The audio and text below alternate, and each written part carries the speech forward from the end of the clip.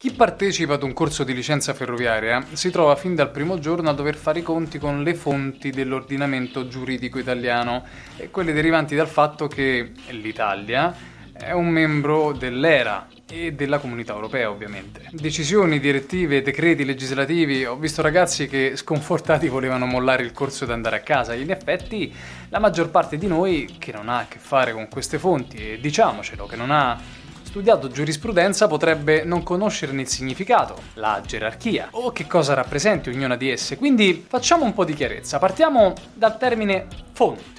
Se vi dico fonte, cosa vi viene in mente? Esatto, il concetto di fonte è espresso in senso metaforico come l'origine da cui sgorga, nasce qualcosa e come una fonte produce in continuazione acqua nuova. Così come lo Stato le norme giuridiche che noi italiani dovremmo, almeno in teoria, rispettare quotidianamente. Ma quali sono queste fonti del diritto?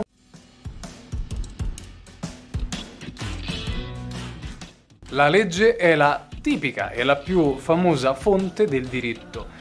Tutti noi conosciamo le leggi e da esse derivano la maggior parte dei nostri diritti e dei nostri doveri. Il decreto legislativo è un atto avente forza di legge adottato dal governo e quindi pari alla legge. Tuttavia il decreto legislativo si distingue dalla legge perché l'intervento parlamentare non è successivo, ma preventivo. Nel senso che il decreto legislativo viene adottato dal governo sulla base di una legge delega deliberata dal Parlamento che fissa obiettivi, tempi e principi cui deve attenersi il decreto legislativo.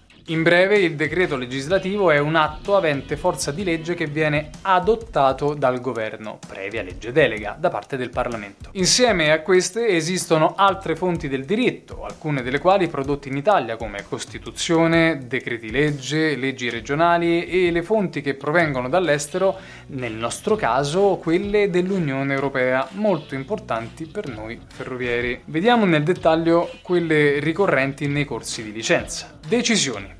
La decisione è obbligatoria in tutti i suoi elementi, può essere obbligatoria per tutti gli stati oppure specifica per uno o alcuni di essi.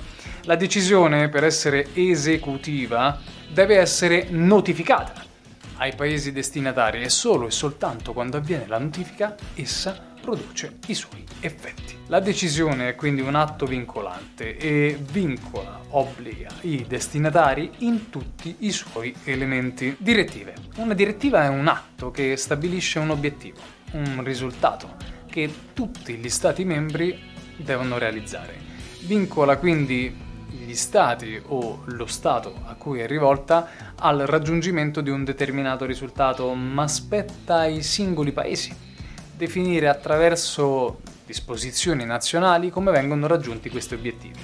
Un esempio per quello che riguarda noi è la direttiva 2007-59 CE recepita in Italia con il decreto legislativo 247-2010. Raccomandazioni. Le raccomandazioni non sono vincolanti, sono rivolte agli Stati membri ma contengono soltanto un invito ad adottare un certo comportamento. Regolamenti invece il regolamento, come ogni regolamento, deve essere rispettato passivamente, è obbligatorio ed è direttamente applicabile da ciascun Stato membro. Se vi è piaciuto questo video iscrivetevi al canale e cliccate sulla campanella perché a breve uscirà un nuovo video sulle ST, le norme e sugli standard tecnici, quindi see you later man.